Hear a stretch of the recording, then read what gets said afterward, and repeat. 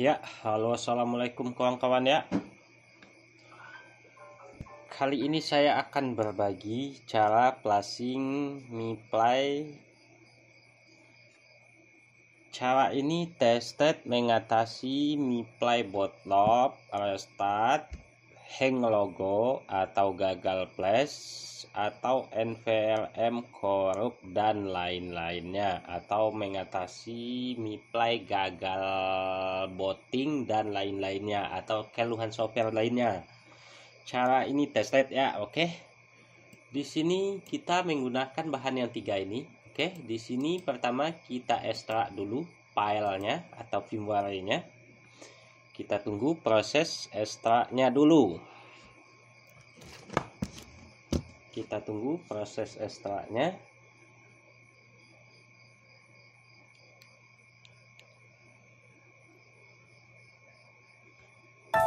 Oke, di sini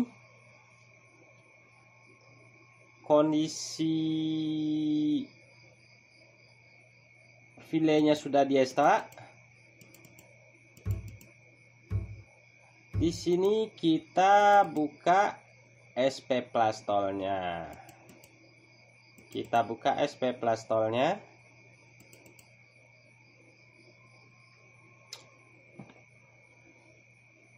dan kita buka juga MTK bypass outnya. Kita tunggu di sini SP plastol kita klik OK kita klik OK. Di sini kita masuk DA nya 6765 atau 6785 di sini kita masuk cari filenya.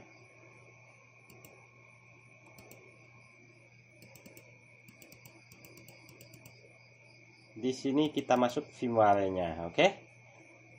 di sini kondisi filenya sudah kita masukin.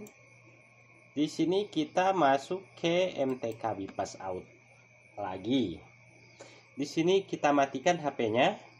Kita matikan benar-benar off dulu ya. Di kalau HP-nya sudah off, di sini kita tinggal disable out.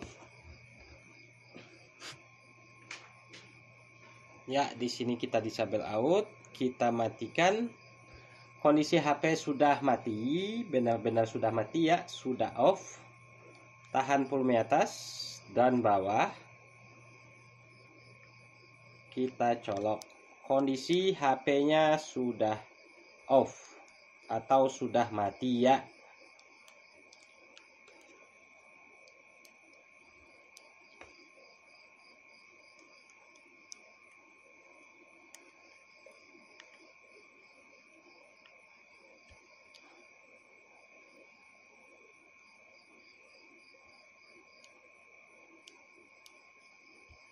kita tunggu sampai HP-nya connect. Ya kalau sudah connect begini ini kita sudah bisa flashing menggunakan SP Plastol di sini kita coba cek MTK out Isabel SLD SLA DAA sukses. Now you can use SP Plastol or ani MTK tol ini kita sudah bisa flashing menggunakan SP Plastol atau MTK tol lainnya yang M atau tol yang support buat MTK lainnya. Jadi sangat mudah banget cara flashing Xiaomi, Oppo, Vivo menggunakan SP Plastol. Kita cukup bypass out menggunakan tol ini. Silahkan download tolnya di deskripsi secara gratis ya atau secara free aja. Oke di sini langsung kita klik download. Kita tunggu proses flashing berjalan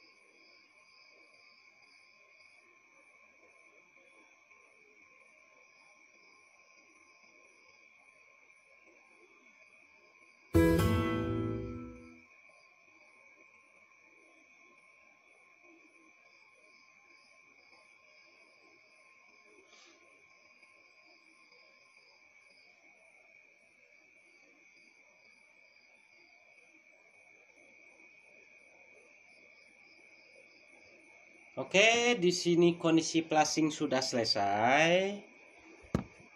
Di sini kita cabut HP-nya. Kita cabut dan kita tekan tombol on off yang lama sampai HP-nya getar dan kita cabut. Jadi sangat mudah banget dan gampang banget cara plasing play menggunakan SP Plus Tol atau tol gratis ya. Sangat mudah dan gampang banget.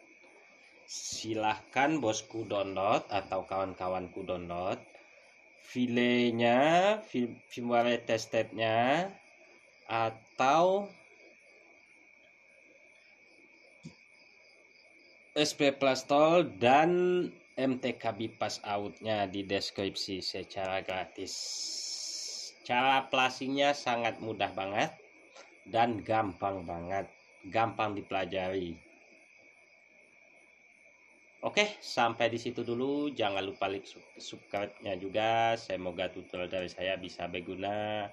Assalamualaikum warahmatullahi wabarakatuh.